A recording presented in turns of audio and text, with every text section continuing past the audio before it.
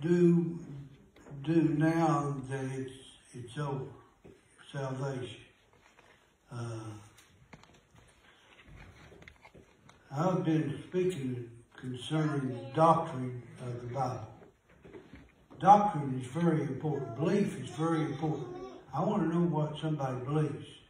I want to know if they believe eternal security or not. Because that tells me a great deal about somebody that believes, don't, don't believe they can lose their salvation one day and accept Jesus and have to accept Jesus Christ as their Savior the next. Once you're saved, I believe you're always saved. We still believe in the, and hold dear to the very stones that establish our foundation. We have affirmed, the last couple of weeks, we affirmed our faith in the triune God, the Father, the Son, and the Holy Spirit. We have emphasized that the 66 books of the Bible are inspired. That means it was infallible. They're inerrant words of God. We have expressed our conviction that Jesus Christ is the eternal person of the Trinity and that he came into the world to die, uh, to came into the world from a virgin birth and uh, and lived a sinless life, died a victorious death there on the cross of Calvary, rose the third day, ascended visibly into heaven and is coming again. We also stress the importance of salvation by grace, and by grace only, through faith alone. We point out the good works are the results of a new life in Christ, and not the means of obtaining it. We have boldly asserted our belief in the resurrection of the body and in the reality of heaven and hell. And we reinstate with conviction of what the Bible teaches about the church and the local assembly of believers.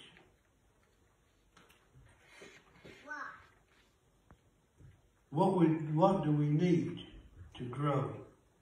I guess that'd be put it this way. There's a couple of things that we need to do after we've been saved and accepted Jesus Christ as our personal Savior.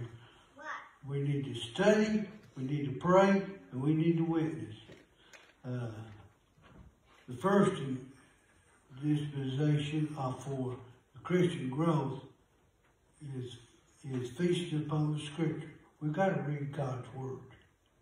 And I think the best place to begin is the Gospel of John. You see, when a person is born again, he receives a new life. That life is supposed to grow.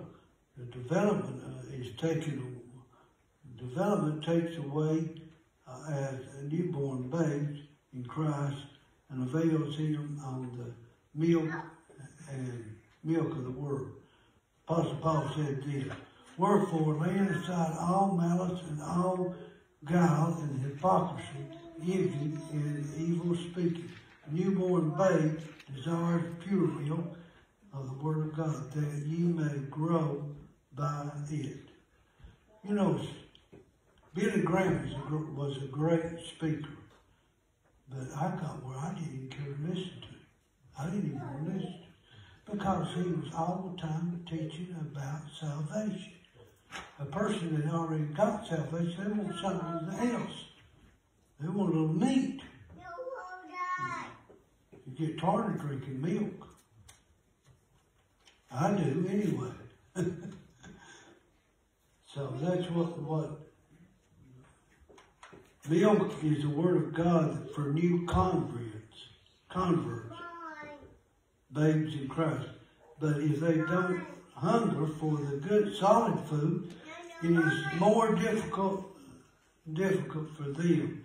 See, in Hebrews it says, For every, everyone that uses milk is unskilled. He that he in the word of God of righteousness, for he is babe. But solid food belongs to them that are a full age, even those who by reason of, of reason of us have thirst senses to concern both good and evil. Second of all, spiritual growth is from the Old Testament contains some of the most beautiful things that are written in it. Uh, the value of prayer. They taught prayer. I mean, Daniel went and prayed three times a day at the open window, looking to Jerusalem, praying. And uh, you see all sorts of, Paul also urged believers to pray. Jesus taught his disciples how to pray. The third essential form of growth is witnessing. Just telling others the good news of Christ is, is a sanctifying and strengthening example. The more we inform others about Christ, the more we become stronger in Christ. Children of God, we are expected to grow up to mature spiritual. We will if we have to learn if we have to learn how. If we are faithful in prayer, we will be faithful in the other things of the Lord and has done for us in his Bible pattern. Also, we believe that we are committed as Christ to ever uh, to evangelize all nations. Notice here what it says here. But ye shall receive power after the Holy Spirit is come upon you, and ye shall be witnesses unto me both in Jerusalem, Samaria, and, and in Jerusalem to the uttermost parts of the earth. But ye shall receive power after the Holy Spirit is come upon you. You will receive power. We, we're not, God does not send us out by ourselves alone. It is, it is for His purpose. The command is best obeyed when we witness faithfully service in our local church, answer the Lord's call of missionary endeavors. Give our children to God for the work of the gospel. Contribute our money to the work of the cause, the cause and pray for those who are active in it. Tell the story of Jesus. We are to always tell the story of Jesus, what he's done for us, how he's done and what he's done for us. Ask the Lord to show you what, what part he wants you to have in an important task reaching the world with the message of God. And he, and as he directs you, the role, role of gratitude to him, zeal for his cause, and let your concern for the lost motivate you to go and do something concrete to assist in pronouncing the gospel.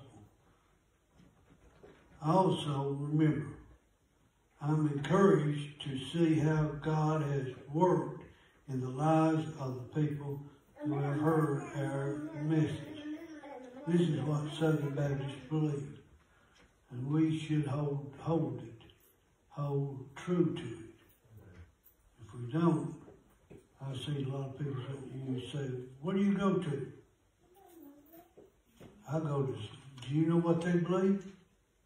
You don't know what they believe then. You just go to go.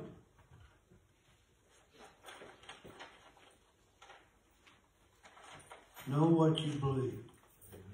Take the church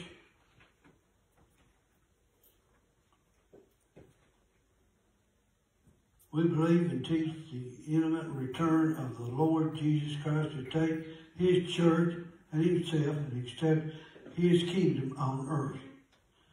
Now, even though our doctrine statement affirms the second coming, I do not believe, I do not believe in a general resurrection. I believe that there is going to be two resurrections, two phases to it. One phase is that when, when he comes in the air, so shall we be with the Lord. Uh, phase two is when he returned to earth to establish his kingdom. And, and, and that's with his saints to reign for a thousand years. Phase one, probably the best biblical description of the first phase of Christ's return. His coming is, is his own, for his own.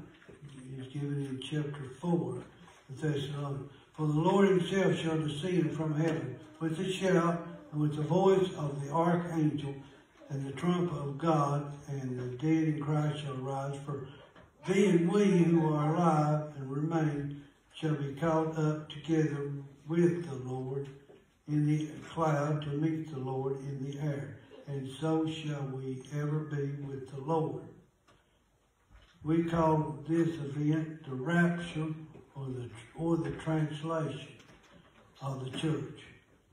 Both living believers and those who have died with will in a moment or a twinkling of an eye be changed into to look like him. Be like him. Meet, meet the Lord in the air. We believe this occurs can occur at any time, any place. Lord can come back at any time or any place. When we refer to Christ coming, it's we are not setting a date. We just simply believe he can come at any moment, any time. That's what the Bible teaches. Phase two is not only is the Lord Jesus comes for the church, with the church, he returns to this earth with his church. This will happen at the end of the tribulation. To establish, he will come to establish his kingdom on earth. The phrase, and the Lord will return, his coming to establish his kingdom on earth. Is not what we would, uh, would would occur. Rather, unlike the rapture, we know that we will be preceded by, by disaster stricken on the earth. And, and, and uh, after he comes back to get, get his church, then you will have the great tribulation. The great tribulation those days were not shortened, there was no flesh be alive. Through it all, however, the nation of Israel will be converted, and many thousands of Gentiles will be saved. Believers in Christ will escape the clutches of the Antichrist, will welcome the Lord when he comes in glory and defeats his foe. Cast the devil into the abyss for the thousand years and set up his millennial kingdom. All of these events will occur before the second phase.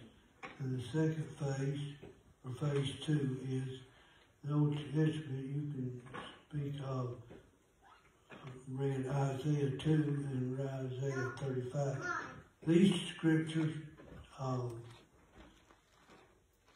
the time when Christ will reign over the earth and the earth and the pose for the God create us will then.